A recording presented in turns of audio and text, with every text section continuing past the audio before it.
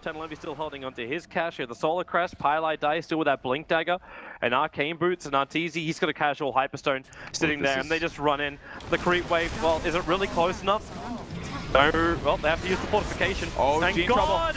So close! The creep wave will spawn up, soaking up a little bit more of that Omni Slash. But Arteezy, remember what they came here for? They want to try and bring down the rack, but they're forced into a fight. Concocted Sun holds Arteezy in position, but he doesn't even really care. The game gets paused oh. as this attack is going on. The Alchemist is in the middle of Chemical Rage, and Arteezy and Envy don't look really that right, interested to kill him off, so let's give it a crack.